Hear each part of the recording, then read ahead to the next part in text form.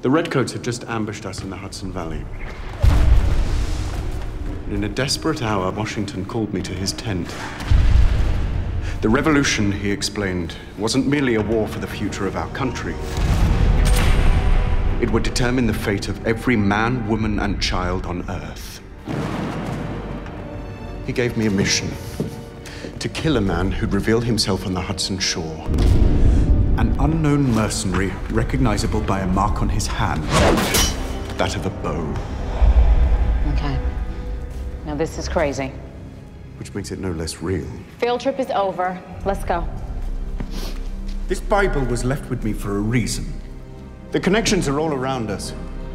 You just aren't yet willing to accept them. Accept what? That the man I'm after, the man who killed Corbin, is one of the four horsemen of the apocalypse. When I beheaded him, that man didn't die. Because he was never a man at all. He is death itself, Lieutenant. And somehow, he has returned to Sleepy Hollow to finish what he started.